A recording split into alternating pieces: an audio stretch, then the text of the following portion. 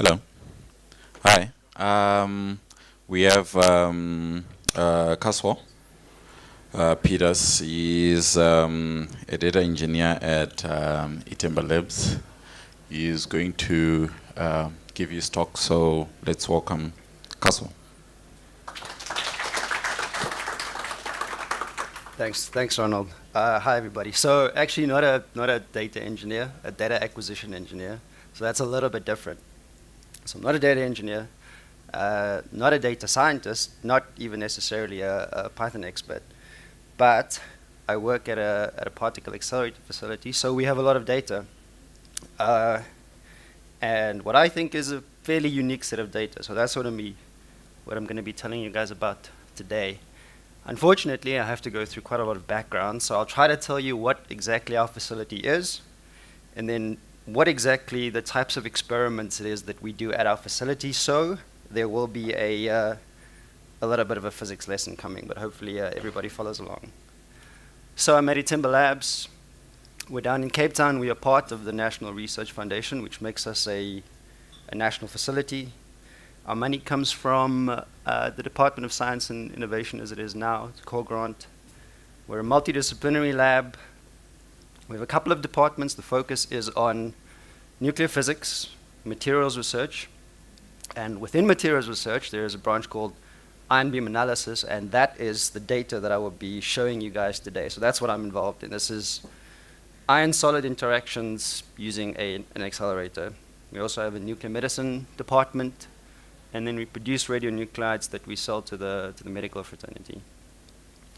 At our facility, we have two particle accelerators. We have a, a, a big one, what, what I call a big one, a separated sector cyclotron that accelerates beams up to 200 mega electron volt, which is a physics unit that you guys probably have either never heard or uh, already here. And then the particle accelerator that is used for the type of research that we do that I have the data for today, which is a 300 million volt Tandetron. That is an electrostatic accelerator.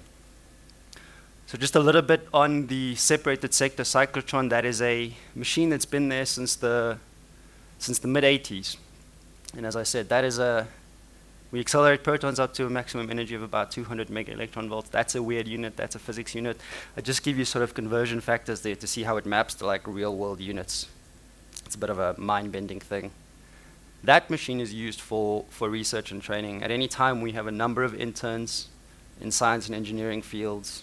Uh, we have master students and we have PhD students coming through there. That's sort of part of the mandate of the facility. Uh, and that, that particular machine is used for nuclear and accelerator physics, and that is also the machine that is used to produce our, our radionuclides. But that is not the machine that I'll be talking about today. That's a picture of it, though. Uh, I couldn't find one that gave you a nice idea of, of the scale, but there's a walkway around there, and that rail is at about sort of waist high for a, for a human, so you'll, you can kind of get an idea of what this machine is. Um, the one that produces the data that I have today, though, is a electrostatic accelerator. It's a Tandetron. It is something that is very similar to the Van de Graaff generator that you you would have experienced at school. As a matter of fact, the machine that it replaced was called the Van de Graaff accelerator. Uh, we've had this for only a few years now, shipped from high voltage engineering. So they they came this came out in parts on a big ship, and they uh, installed it, as I say, a couple of years ago. And what that gives us is primarily two types of particle beams that we accelerate protons and alpha particles. So, alpha particles, if you don't, uh, if you can't remember what that is, pretty much just two, pr two protons, two neutrons. So, a helium atom with the, with the electron stripped away. Uh, so, that's the accelerated beam that we use for our experiments. We do those experiments on two beam lines. There is a what we call a micro beam line and a broad beam line. The micro beam line called that because the size of the beam spot that we have there is on the order of microns, typically a micron on a good day. We would like to get it down to sort of nano sizes, in which case we would have a nano beam, but we're trying to get there. We're still learning what we can do with this machine. And then on our second beam line, we do experiments with broad beams. So this is typically alpha particles, so heavier particles. And that beam is, is millimeters wide, so that is what we would call a broad beam. So those are the types of beams that we do our experiments with. That's a picture of the beam lines. On the left is the, is the broad beam line. Uh, you can see a, an end station there where the experiments happen. That is the micro beam line, and there's another end station there. I have a better picture of that beam line uh, a little bit later in the presentation. And all of that stuff happens in vacuum.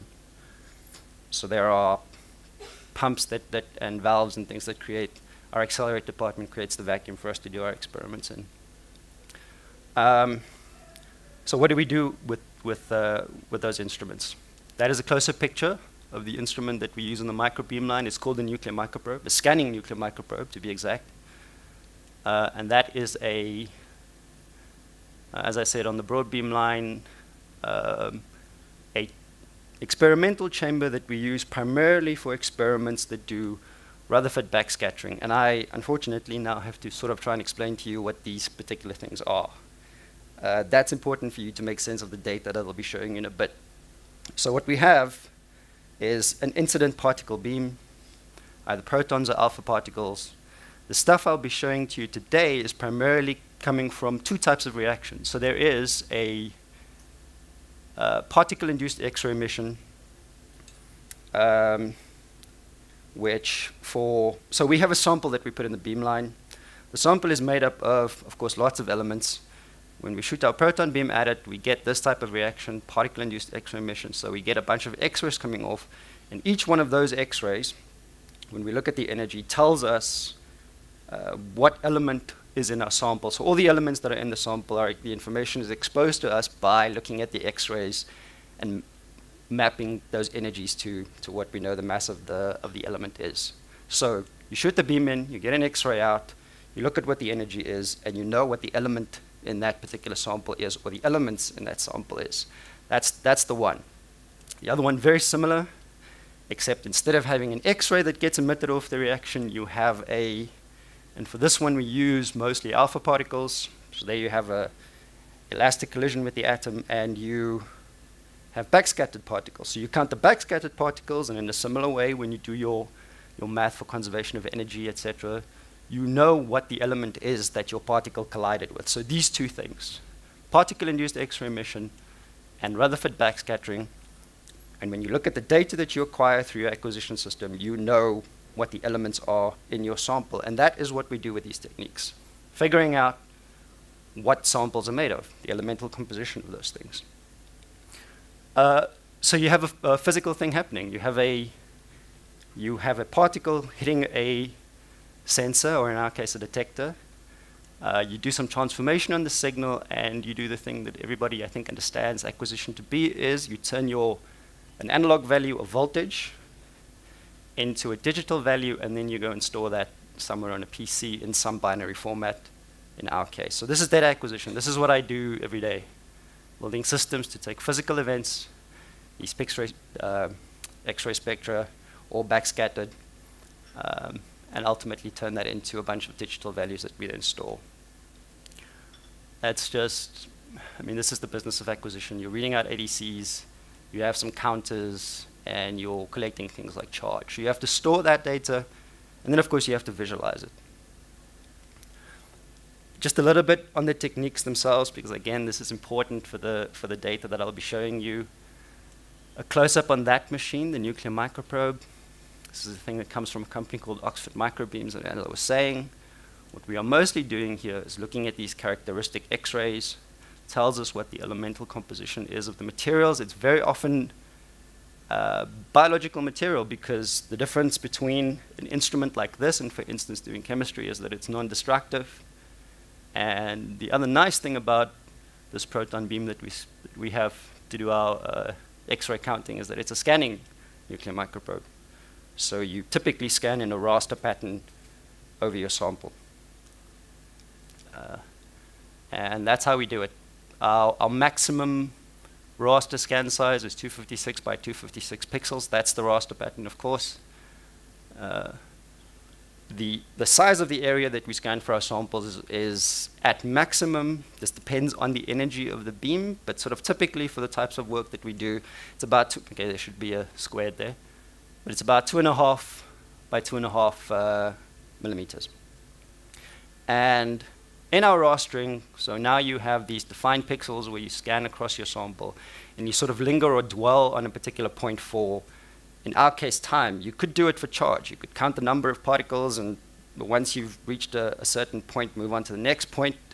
But in our case, we just do it by time, so we have an FPGA that sits there for 10 milliseconds, and that's a typical value. We can go down to microseconds, but we do 10 and then on to the next pixel. So you're sitting there scanning a sample in what is usually a square, and you're just counting all of these x-rays while storing the uh, scan coordinate positions as well. So what you end up with in your data is every single energy of every x-ray, well not every x-ray, most of them, uh, and then a scan, scan coordinate. That's what we do with particle-induced X-ray emission. We also have, as I said, uh, backscattering spectrometry. So this is alpha particles, come backscattered, they tell you again uh, elemental composition. And the difference between this technique, for instance, and PIXE is that it also gives you some idea of where in the sample your elements are. So you have some depth information that you get with, with this technique. And a novel thing we do at iThemba Labs is that um, we do thermal annealing of metal silicide. So we not only put a sample in and count every backscattered particle, which is the most common application, but we also sort of look at the formation of metal silicides uh, while we're acquiring the data. So this is a real-time thing where you put the sample in an oven, heat it up from room temperature to about 600 degrees Celsius, and then you see what happens to the sample. So you have a, a metal thin film that you deposit on silicon substrate, and you heat it up, and it anneals. And then you can sort of see what happens to the sample as the silicides form. So that's, that's, that's the kind of stuff we do. Um, those are two applications. This is another application of the backscattered particles. This is a thing called channeling. When you have a crystalline material like silicon, you have a, a, a crystal lattice, sort of a highly ordered thing. And if you've ever seen this thing, that's the best kind of picture I could find of it. When you shoot backscattered particles at it, depending on the orientation of your sample, you are either going to have a lot of particles coming back at you, or when you hit a particular channel in the lattice, that yield will drop. So we put that sample on a three-axis goniometer. So we have three degrees of freedom, and then we just sort of move the thing. So we rotate it through some dimension, and then we just see what the yield of the backscattered particles are. So when it's at an angle where you're hitting a lot of atoms, of course, the yield is high, and then when you hit a channel, the yield drops. And what that tells you, of course, is that you, you have this highly ordered lattice, but if there is an impurity, if there is damage in the crystal, you have an atom where it doesn't belong. So instead of having lots of backscattered and then a, a dip, and then more backscattered, you'll see something like a spike in the yield when you, when you hit uh, some impurity in your, in your crystal lattice. So that is, the, that is the physics that we do. So we take energy, energy spectra, um, and we store that data. And traditionally, we've stored that data with a analysis framework called ROOT. So this is a thing that primarily lives inside of high energy physics, but uh, so this is the type of stuff that they do at CERN. This was developed at CERN, but it's generally applicable, and this is the tool of choice for uh, storing your data, so this determines data storage formats and then also visualizing it when you're making histograms, one-dimensional, two-dimensional. And this is what we've used for the longest time. So our data gets stored in this format. But recently we've tried to move with the times. Instead of relying on these physics-specific tools, why not use something that sort of takes us more in line with what people in the industry are using, right? So if you have a tool that more people can code for, you potentially have more people that can contribute to the work that you're doing. And that brings us to Python. Traditionally, root stuff is written in C++, but what we have is a thing called pyroot. So when you compile root, you have this nice extension that will allow you to basically a wrapper around your root object. So now, all our traditional physics data, we can just pull it, we can just pull it straight into uh, into Python and, and work with it in that way. So you have pyroot, and you have Python. So what are you gonna what are you going to use to visualize this stuff? And what we've settled on is Plotly. So of course you can use JavaScript and R. We are using Python in our case. JavaScript, I think, wants sort of JSON structures for our visualization, but in Python you can either do use dictionaries or what we are going to use, which is what Plotly calls graphing objects. So that's, of course, a very nice interactive way of, uh, of plotting our data. It's browser-based, so you can save this stuff to an HTML file, but what we typically end up doing is just uh, doing the stuff inside of Jupyter Notebook. So there's support for that. And that gives you a very nice idea as your experiment is running uh, of just, yeah, what's actually going on. So this brings me to the uh, Jupyter Notebook part. So hopefully you follow to some extent and, uh, and have an idea of what the data is supposed to be for the experiments that we, that we run. So our first is, uh, let's see, where am I? So yeah, it's as simple as at the top there, import root and import plotly graph objects, piece of cake, and then you have access to all of your data that you, you took in root. Um, and the very first thing I want to do is for the type of experiment where we have a X-ray spectrum, so this is the particle-induced X-ray emission, the nuclear microprobe, is simply visualize all of those X-ray events. And that is just, a, a, in my case, a simple scatter plot. For some reason, Plotly does this thing. I have to, uh, okay. Not a lot of resolution to work with.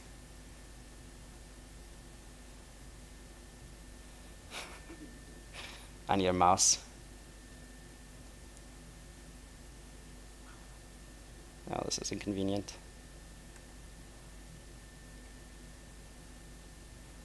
Can I get a mouse? I don't have enough space here.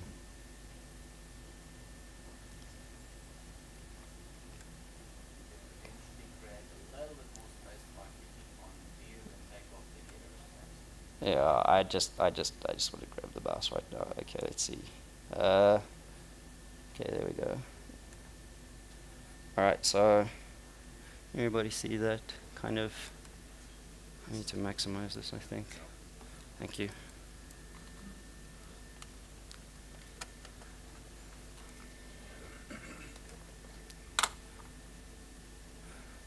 Okay, let's see.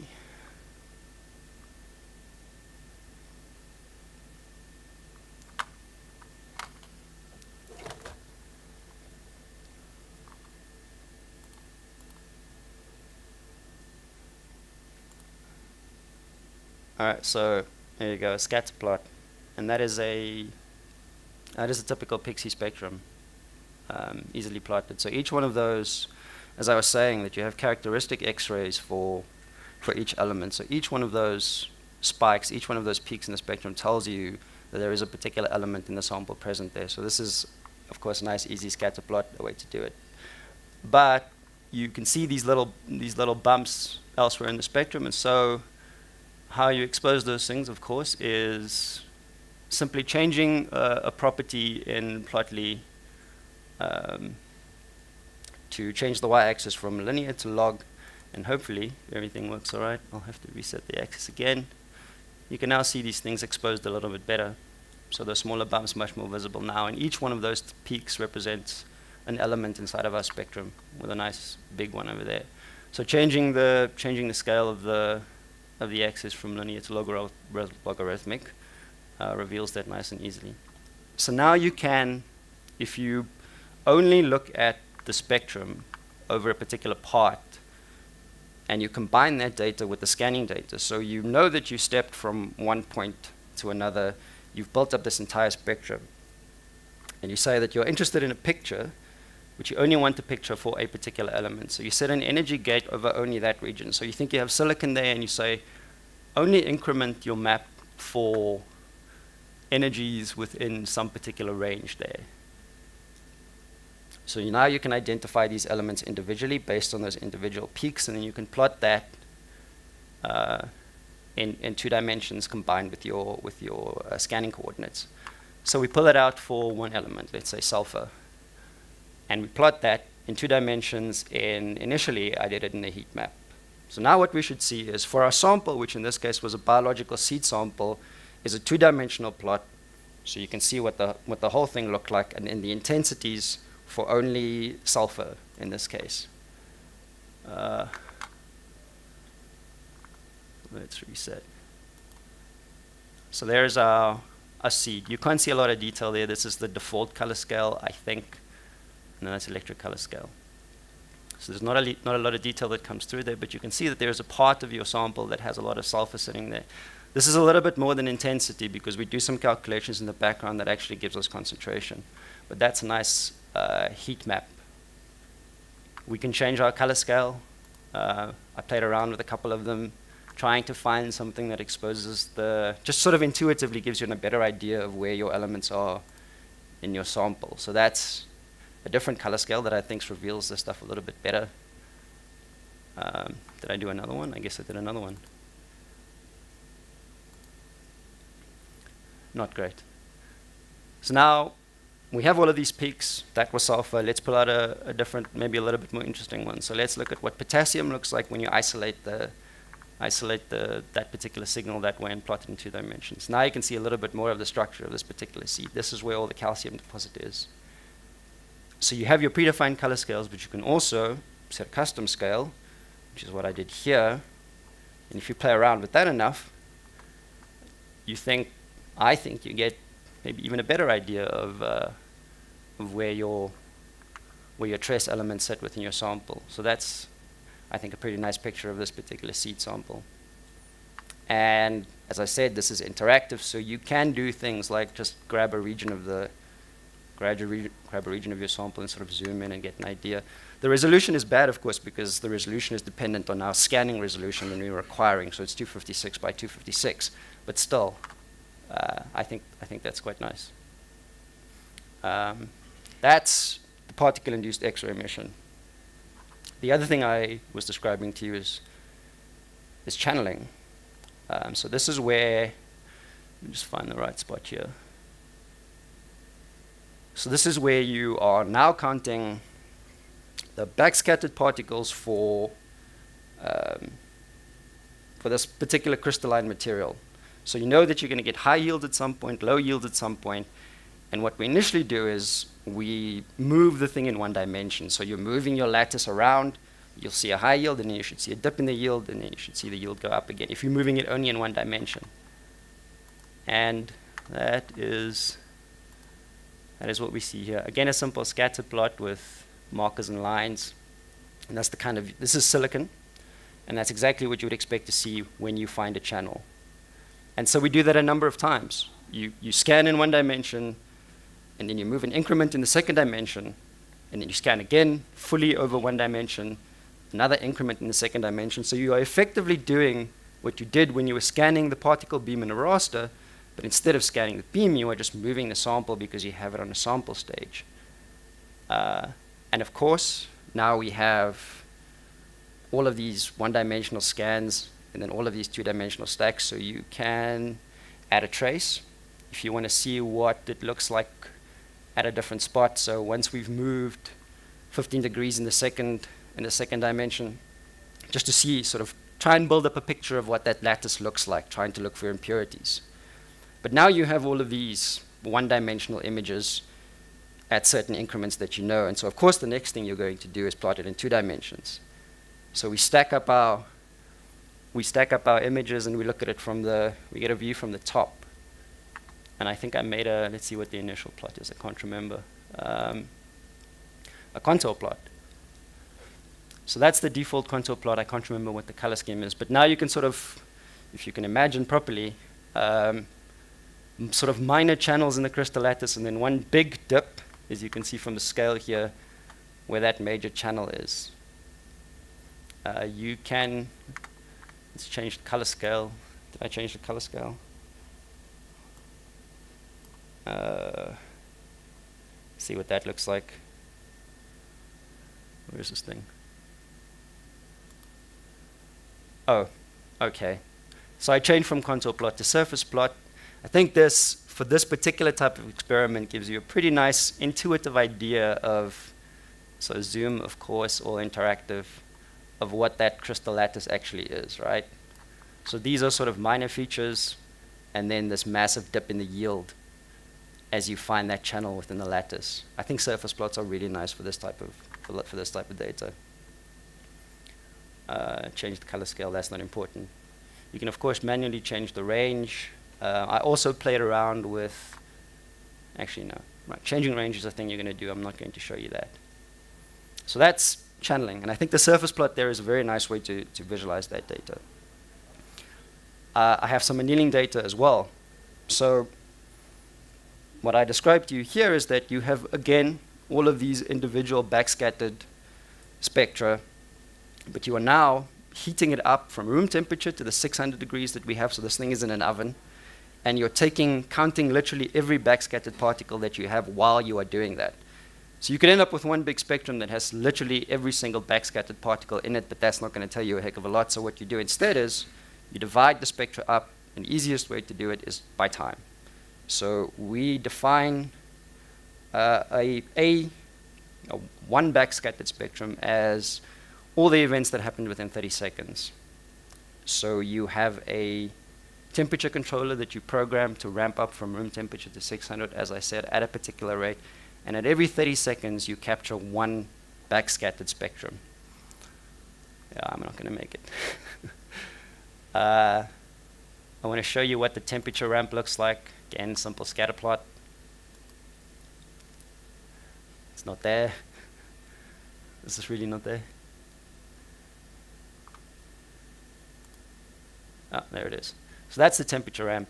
Um, I also want to show you very quickly what one of those uh, Rutherford backscattered spectra looks like. So that's a typical backscattered spectrum.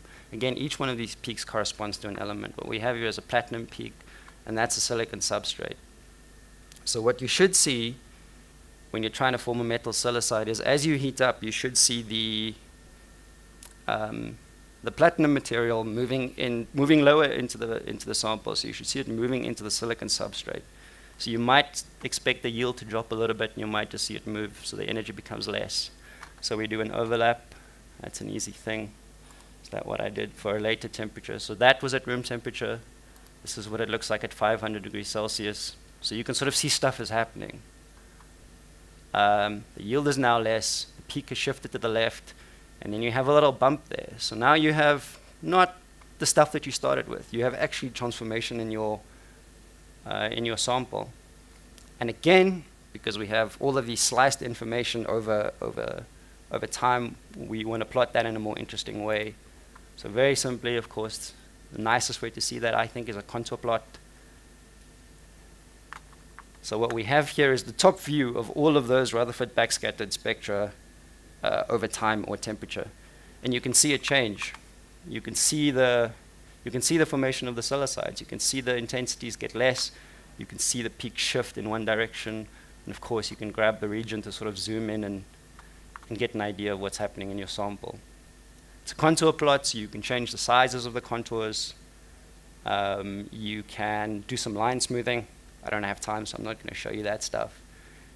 And then you can also Another thing that I like about what Plotly gives me is the ability to, I'm just going to show you the final version of this, is add some interactive elements. So there are drop-down buttons that give me the ability to do things like change my plot right here. So from our surface plot to a heat map. That's not great. As a matter of fact, that's not the right thing. Uh, shoot. How do I see the rest?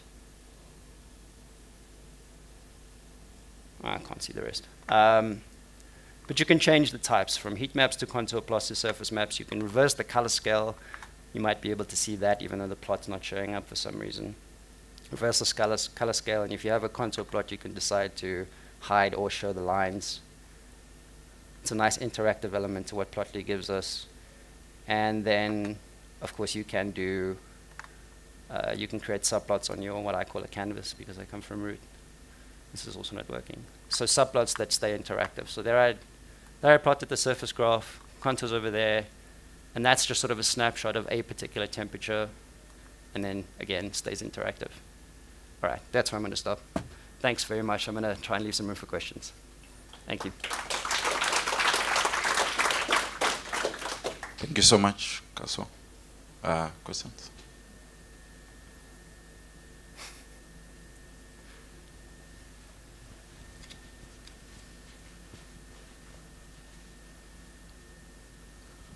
Yeah, that was a good talk.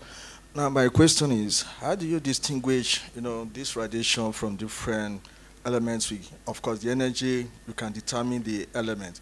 How do you determine that of uh, the impurities? Sorry? The, how do you uh, determine from the energy of the radiation what impurities are in the samples? Well, impurity in that context would just mean um, the lattice doesn't look like you, you think it would look. So that's, that's just a sort of a displaced uh, atom somewhere. Okay, yeah, exactly. That is what I wanted to know because when you talk about impurities, people may think it's something different, but it could also be an element.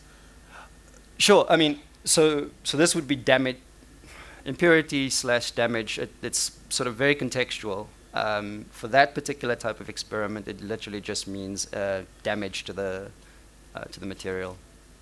It's okay. Yeah. Another question?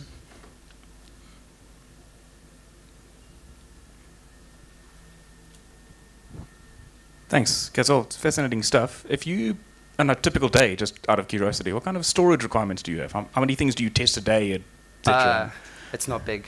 No. Um, for for X-ray emission, this is very different to nuclear physics, where you have things like coincidence and you have multiple channels of data. A typical uh, PIXE experiment, so on a nuclear microprobe, you would only be looking at uh, emitted X-rays, and that's one channel of data. So, so you have energy, and then you have scan positions, and you have some metadata that you wrap into some format. So for a run that goes six hours, you end up with a file that's a couple of gig. Not very big. It's not big data. Yeah. Yeah. Thanks. Anyone else? Yeah, just a matter of curiosity. Um, if you've got silicon and you've got a, uh pattern of uh, of uh, platinum on it, are you looking at like uh, semiconductors or, or Yeah. So, so the application here is microelectronics. It's uh, it is how metal silicides form. So you deposit the, I mean, it's 10 nanometer um, thin, thin metal films on top of a substrate. a vacuum in vac- vacuumed? uh, yeah, Yeah, uh, the sample preparation I can't really talk about, but the the process of annealing it when we're taking the data, that happens inside a vacuum. Yes. right, right.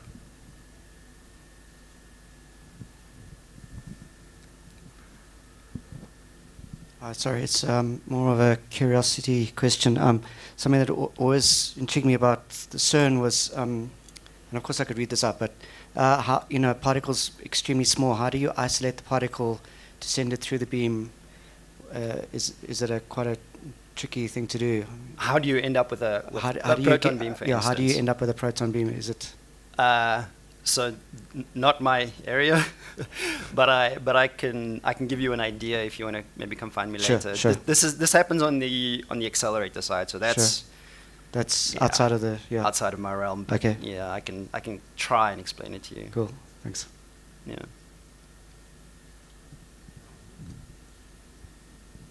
Hi. Um, Another curiosity question. Are you doing any tomography on the microprobe? Uh, tom- tomography. Like 3D imaging? Um, no, mm, no. Um, we only have. So we don't we don't do any. So you mount the sample. You you we only move the sample around in two dimensions. Uh, as a matter of fact, while we're taking data, we don't move the sample around at all. So you have you have the one view of the sample, and then you do a raster scan over the sample. So you really can't build up anything that's that's three dimensional. We just don't have that kind of capability. I don't think anybody does for this type of instrument. Yeah, just uh, about, look, I was doing this about 20 years ago, but at Schonland, um, Yeah. we, we imaged a seed. It was actually when I saw your seed images, it reminded me. You know, You worked at Schonland. Yeah, uh, but, yeah, a long time ago. Yeah, they're, they're part of us now. They're part of Yeah. Labs. Um, I, I don't know how you would do it in, in, in 3D. Neil, do you know? no. Okay. No, it's. I mean, you could mm. potentially move the sample stage as well. I don't even know how you yeah, we, take we had data. a rotating stage, and I, I just thought, wondered if it got bigger if people did it sort I of mean- routinely now. Yeah. No, not not for not for particle-induced X-ray, not for PIXE, but when you have backscattered, when you're looking at backscattered stuff, of course, there you do move the sample stage around, and then you can have like three degrees of, or even more if you want. Yeah, actually, How- I think we were doing transmission. Sorry? It was transmission. Oh, STEM. Yeah, yeah. Okay. yeah Um, so with the sensor behind and then rotating the sample. yeah. Uh, no, we don't do a lot of it, Okay. thanks. or any of it. Hello, good talk. I just want to know uh, another ac- another just another question of curiosity. Uh, how accurate are these graphs? in terms of getting close to what the actual concentration, because these are trace elements you're looking at, right?